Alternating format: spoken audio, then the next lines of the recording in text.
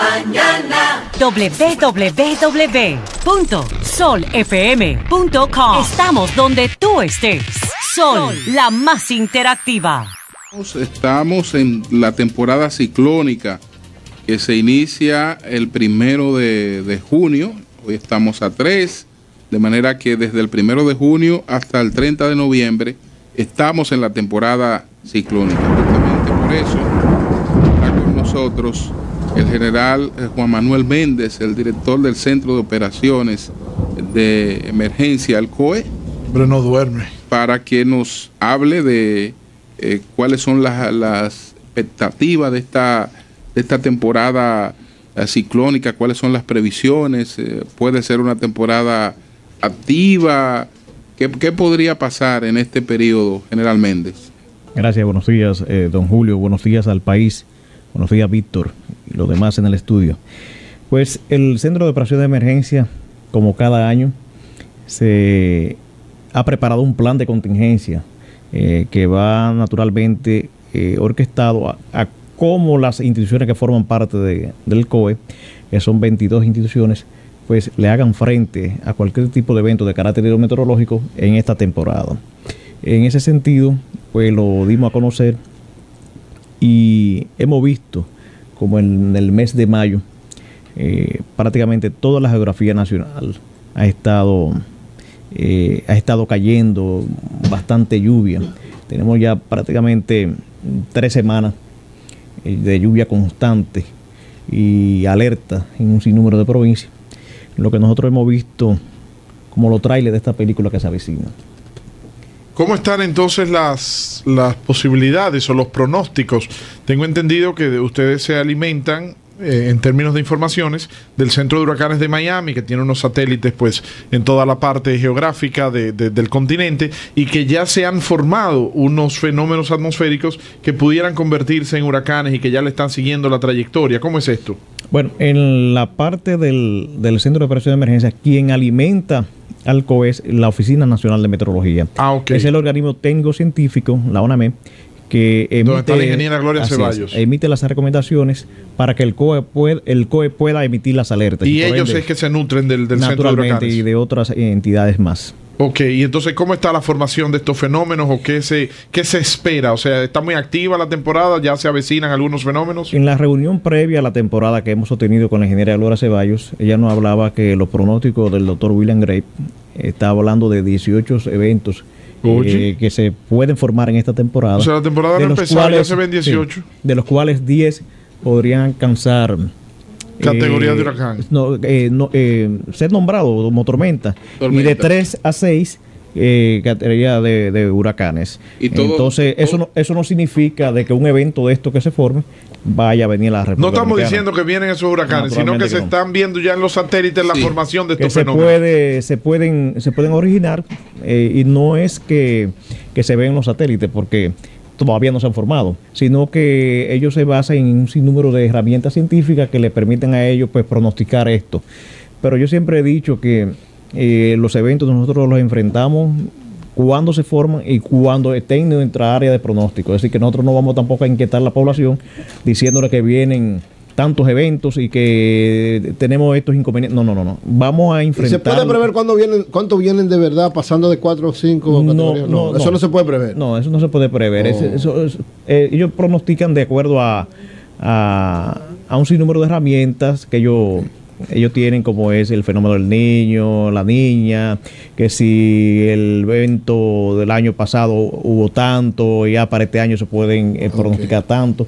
Entonces, en ese, en ese aspecto yo no, yo soy muy escéptico porque son pronósticos. Sí, son pronósticos. ¿Qué nos va, qué nos va quedando, general, de la, de la experiencia de cada, de cada temporada eh, ciclónica? Me pregunto, ¿esto nos ha servido para irnos eh, organizando? ¿Tenemos realmente una estructura eh, regional que puede eh, prever situaciones de desastre en zonas que eventualmente queden aisladas?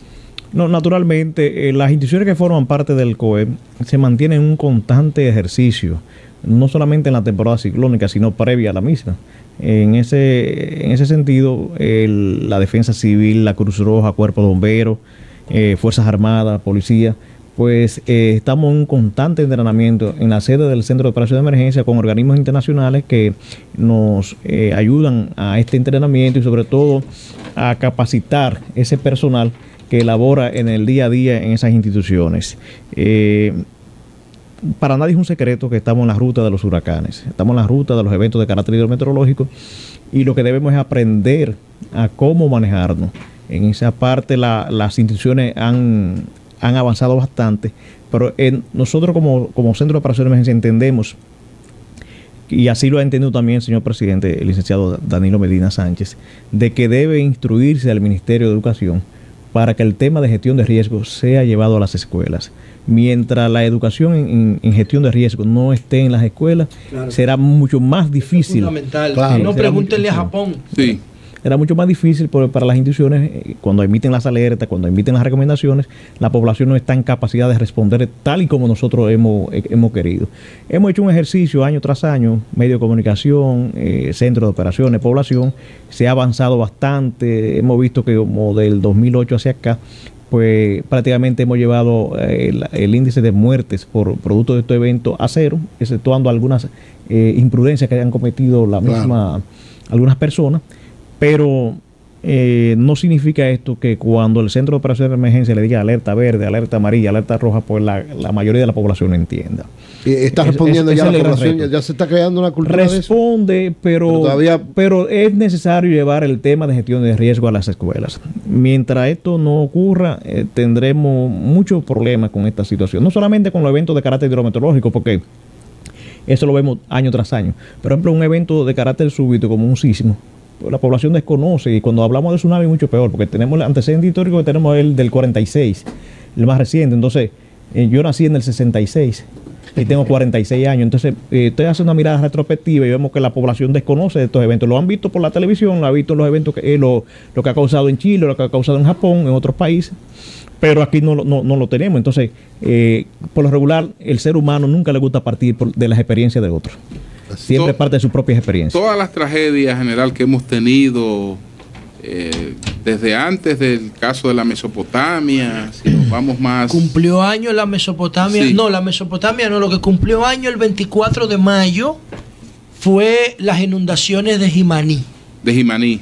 ¿Se acuerda, ah, general? ¿Cómo se llamaba, ¿cómo se llamaba río ese río? Río Blanco. Río Blanco, que es el río, el río haitiano. Que y bueno, en Haití. Justamente, justamente. Ahí no fue que hicieron la casa. todas las tragedias que hemos tenido. Todas las tragedias que hemos tenido, general, eh, se han presentado por construcciones que están hechas en, en los cauces de los ríos. Eh, tenemos una evaluación en la República Dominicana de qué cantidad de, de barrios tenemos nosotros justamente construidos sobre cauces de río? Bueno, la defensa civil ha hecho este estudio. El general Luna lo planteó el otro día. Eh, nosotros le estamos haciendo un requerimiento a la defensa civil para que no la llegara al centro de operación de emergencia, pero sí ellos tienen mapeado las zonas vulnerables de las diferentes provincias porque instruyeron sus provinciales y sus regionales para estos fines. Eh, si usted me da un correo electrónico, yo le podría hacer llegar a eso con mucho gusto. Tan pronto ellos no lo hagan llegar, que supongo que ya en el día de hoy no. ¿Cómo se coordinan ustedes con, con las iglesias y las instituciones de la sociedad civil que pueden contribuir con, con la labor de emergencia? Usted sabe, el Centro de Operación de Emergencia es un organismo coordinador de la preparación y respuesta ante desastres. En ese sentido, las instituciones que forman parte del COE, como el caso de la Defensa Civil, la Cruz Roja, pues tienen su, su accionar con las juntas de vecinos, con las iglesias, que es sumamente importante porque los pastores, los, los, padres en las diferentes provincias, en las diferentes sesiones, pues son los que la, que la población escucha al momento de emitir cualquier tipo de información y cualquier tipo de alerta. Entonces ya se ha venido haciendo ese trabajo eh, de educar a la población a través de las juntas de vecinos, a, través de, la, de, las iglesias, a, a, través de los clubes que también agrupan personas. Y el día a día se la mantiene la Defensa Civil y, sobre, y, la Cruz Roja, que son los organismos que están en toda la geografía nacional. Eh, general, parece que ya los ríos están bajando. Yo vengo del sur y ya el río Yaque, que inusualmente no tiene tanta agua, ya tiene mucha agua. ¿Qué prevenciones están tomando esencialmente en el sur? Sí, usted sabe que el centro de operaciones tiene eh, un sinnúmero de provincias en alerta y sobre todo ya para Pero mañana. no veo a Barahona. Para mañana, para mañana y para el miércoles, Barahona estuvo. Eh, La, la quitamos por las precipitaciones que no estaban cayendo, pero ya para mañana. Ayer em- cayeron Empiezan, no, y para mañana se va a intensificar. Mañana y el miércoles es- son días de lluvia prácticamente en toda la geografía nacional. En ese sentido, eh, todavía mantenemos una alerta verde para Monteplata, para Monseñor Noel, el Gran Santo Domingo, Atomayor, María Trinidad Sánchez, San Juan de la Maguana, La Vega y Sánchez Ramírez. Y en amarilla está la provincia de Duarte, en especial lo del Bajo Yuna. Parece que sí se arrecian las medidas preventivas. Y yo estaba revelando los otros días que, escúchame Julio, No, adelante, No, no, adelante, no, pues, muy. No, adelante. Eh, las medidas preventivas son importantes porque así evitan más víctimas. He visto que obras públicas, yo lo he visto, algunos vehículos pesados que están en la carretera y que están en algunos puntos especial de para el ministro de Obras Públicas, Sí. Gonzalo Castillo. Algunos puntos, sí, señor. Algunos puntos estratégicos hay vehículos pesados. Están en coordinación también con ustedes y con las brigadas que ustedes tienen. Sí, nosotros tenemos una coordinación estrecha con el ministro de Obras Públicas. Eh, él es un apasionado también del tema de gestión de riesgos. Eso veo.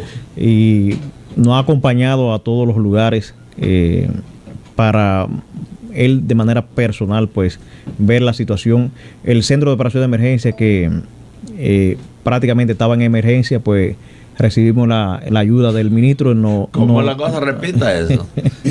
el centro de operación de emergencia que Estaba prácticamente emergencia. estaba prácticamente en emergencia por el ministro de Obras Públicas a- en enero de este año. Sí. Pues eh, Lo que no, bueno, el techo lo impermeabilizó. El, el dormitorio nos no proveyó de aire acondicionado y camas que no teníamos. El comedor que no teníamos, un comedor nuevo, cocina nueva, eh, computadoras, Ministro moderno. computadoras. eh, que el centro de emergencia estaba de emergencia. doctor, O sea, el doctor- COE, el COE estaba casi casi llamando al COE. Sí. El, doc- el doctor, eh, perdón, doctor al centro de operación de emergencia también de computadoras que no teníamos. En la mesa diferente, sí. Ah, es decir bueno. que. eh, y al director que andaba en una camioneta le dio una jipeta. Una jipeta, una, una parado que anda el, el director del centro de operación de emergencia se siente bastante cómodo. Mucha gente anda montada en toda la carretera. Entonces, ¿Cómo la cosa? sí, además del centro, de- del, del centro que está muy, muy contento, el director también. Exacto. Muy bien, qué bien. Bueno, Así es La que. verdad es que es una, es una buena noticia porque ustedes saben que una de las principales debilidades con que cuenta el Centro de Operaciones de Emergencia es que al depender en términos administrativos de la Presidencia de la República, cada vez que necesita un libramiento rápido para accionar, tiene que solicitarlo a Eh. José Ramón Peralta, que es el secretario administrativo de la Presidencia. Entonces ese trámite burocrático lleva una serie de procedimientos que a veces cuando salen los recursos ya... eh, eh, eh, Ustedes- exactamente. Pero en el caso del centro de operación de emergencia, y voy a hacer una aclaración, nunca hemos tenido necesidad de recursos de esa índole, porque nosotros manejamos coordinaciones y acciones. Nosotros lo que es el presupuesto del COE No, para, no, no, eso es para los gastos sí. fijos. Yo lo que me refiero es que Sí, si se presenta una situación de emergencia, Pero entonces eso el general lo ya que se maneja así, no, eso se maneja, lo maneja a nivel de plan social, de comedor económico. sea, Víctor, los- los ocho años que yo tengo en el centro de operación de emergencia es por eso, porque no manejamos recursos. Si manejamos recursos, no, Hubiera problemas. hubiera tres motosierras, tres motosierras serruchando ahí. Sí. Entonces, ¿cómo, Eso así. eh, eh, ahora que estamos en esta temporada ciclónica No, bueno, general, Hay lo que hay es problema. eh, ¿cómo, Así es. cómo se, ¿cómo se maneja el COE con estas 22 entidades? Eh, digamos, ¿ustedes están en reunión permanente o tienen una, una vista una vez a la semana? ¿Cómo, Mire, ¿cómo se coordinan? Usted sabe que, bueno, ustedes que tienen muchísimos años ya juntos, entre ustedes siempre hay discrepancia, hay diferencias. Así es. Entonces, lo que hay que llevar es un punto de equilibrio. Sobre todo entre Julio y Eury. Sí, pero sin embargo mantenemos la, Pero mantiene la, coherencia. En lo que usted ha hecho con Sí. todo ese grupo de instituciones. Entonces, ahí vamos. Te, te leí ahí promoviendo el mantenimiento del y desorden. te en la leí a ti con todo ese, con toda esa pasión y odio que tú tienes. No, lo, oye, lo que yo como- quiero que se estirpe el cáncer de la Junta. No, yo lo que quiero que se cuente de Yo. PLDista izquierdista. No, cristiano. Cristiano. Izquierdista. Entonces, lo- nos hablamos Bueno, de la entonces, coordinación. en la coordinación, eh, donde hay ya más de dos personas, es difícil ponerse de acuerdo. Lo que nosotros hemos intu- intuido o instruido también es que el, se respete el accionar de las instituciones.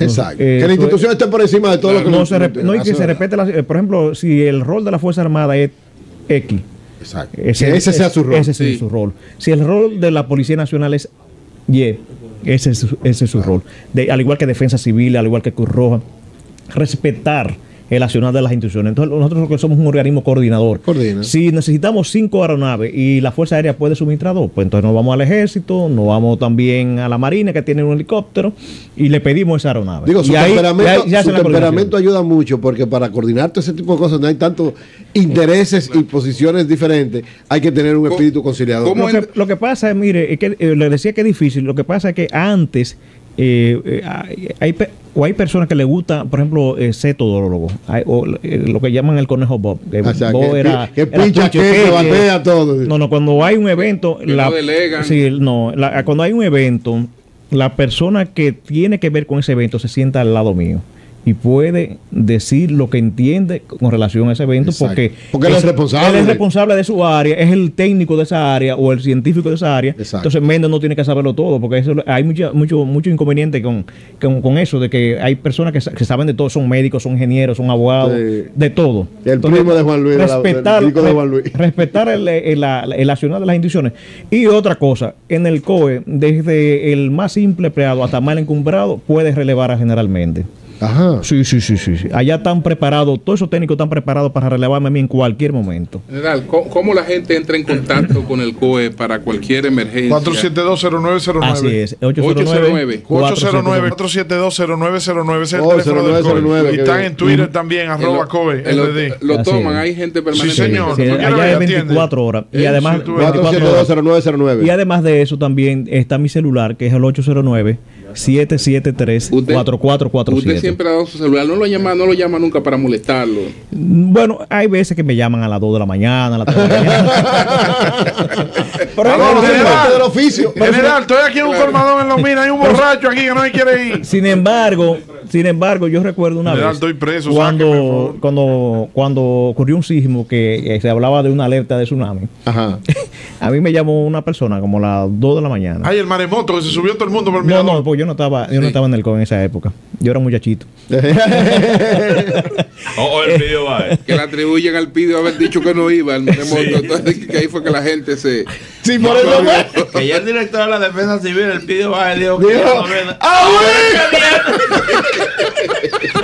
Ahora es que viene. ¿se da cuenta Pero en el- en del el- en España? No el pillo. Se lo hago fuera del aire. Sí, sí. No, no, hablo en el aire. En el aire. No, no, no me ataque el video, no. Diga, general, No, pero ¿cómo el pillo es un tipo que- bueno, un tipo No, Fue una cosa que le pasó de no, verdad. No, no, Dilo, porque, ver, no, porque el, el pidio iba. Si él mismo iba, con un, iba, Este con- mismo, sí. iba con un tacita. Eh, Iba con un tacita, Co- entonces estaban hablando del país. Monchi Fadul iba con él. ¿Dónde fue eso? Iba En España, iban en un taxi. Etcétera. El grupo Entonces, ya está noblero. No, y el, ta si el taxista va manejando y dice, ah, ustedes son de República Dominicana. Oye, hay un tipo que dijo de que, iba a pasar un ciclón, que se yo qué, en un libro, y Monchi riendo, estoy riéndose. Monchi y, el, y el tipo acabando con el director de, la Defensa Civil de República Dominicana. Y le dice Monchi, hey, este que va aquí. ese moreno que va ahí. Yo tengo un amigo mío que, que, que en cabello en cabello café con Araceli Melo en paz descanse mi Eh, querido, no, le pasó lo Eh, mismo adelante. le pasó lo mismo con otro amigo mío de Julio Saludos especial, señor Rondón, mi amigo y mi hermano Ángel. ¿Cómo es entonces Bueno, no, ¿Qué yo le decía que cuando hubo esa alerta, pues eh, yo recibí una llamada, como yo siempre doy al teléfono, yo recibí una llamada como eso de las 12 de la mañana.